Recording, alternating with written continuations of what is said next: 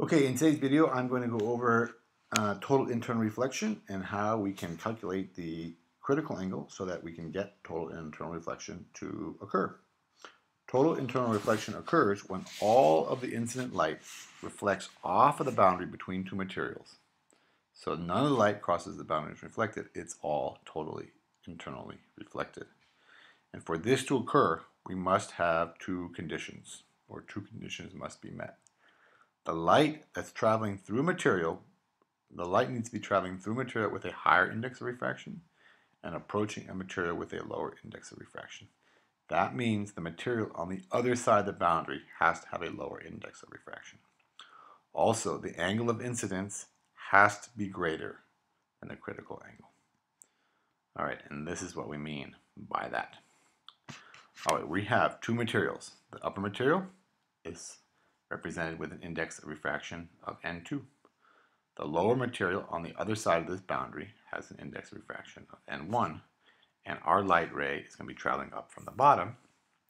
And we have here, it says, tells us that N2, the material on the other side, has a lower index of refraction. So we know that we can have total internal reflection if we reach the correct index, uh, excuse me, angle of incidence.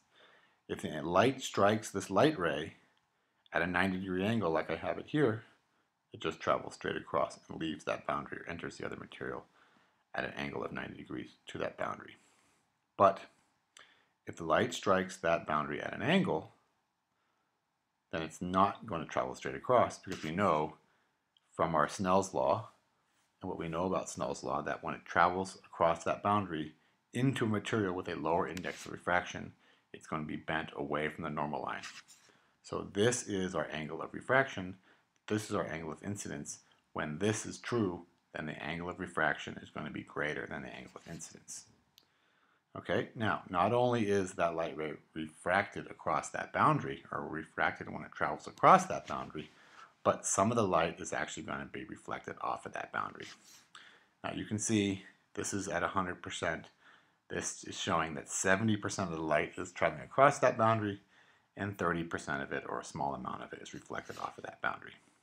Okay, now we're going to increase the angle of incidence. This angle of incidence is greater than this angle of incidence. And half of the light is being refract, ref, refracted as it travels across that boundary, and half is being reflected off of that boundary. And you can see we've increased the angle of incidence, and therefore we've also have to increase, or therefore the angle of refraction also increases.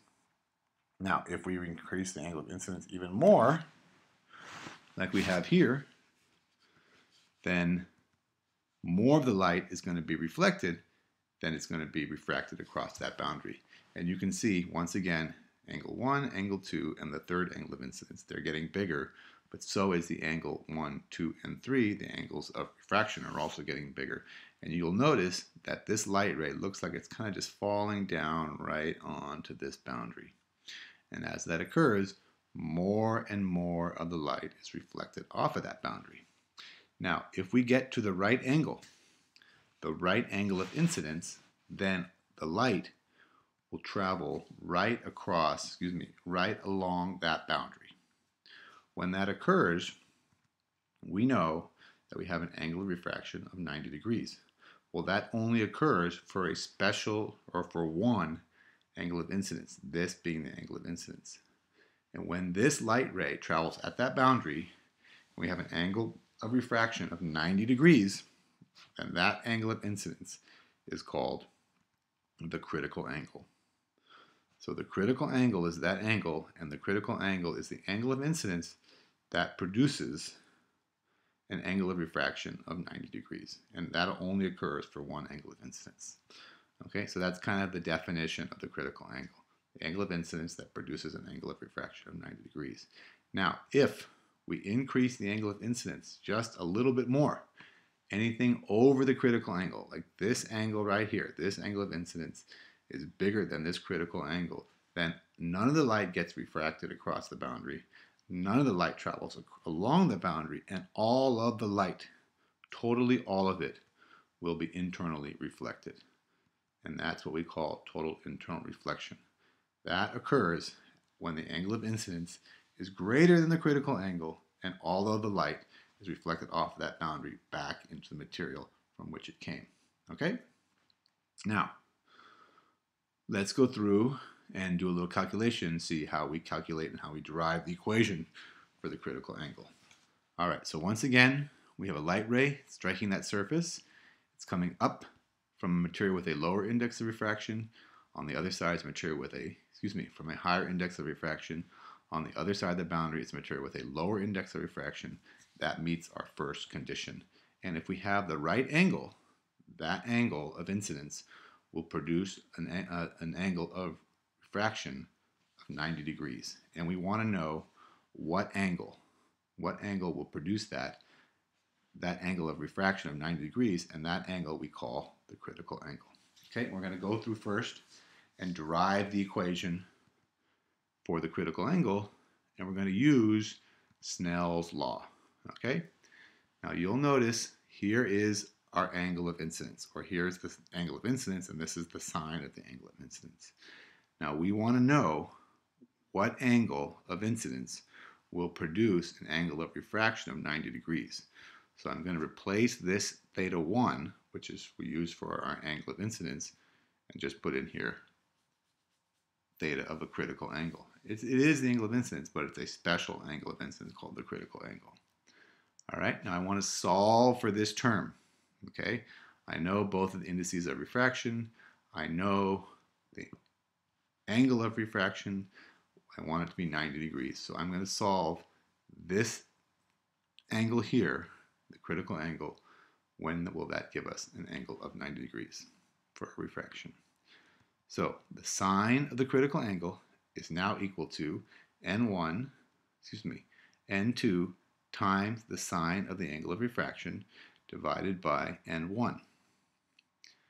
Now what I'm going to do now is I'm going to put all, I'm not going to put all the values in there. Usually I put all the values in there next. I'm just going to put the sine of 90 degrees because that is a special sign, so to speak, because the sine of 90 degrees is 1. So n2 times 1 is n2. So in a sense, I can cancel this term out because 1 times any number is just that number.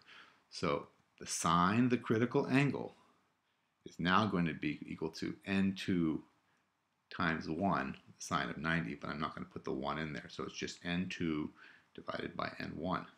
So this is the equation we use to calculate the critical angle. And you'll notice it's just the sine of the critical angle is the index of refraction of the material on the other side divided by the index of refraction for the material that the light is traveling through.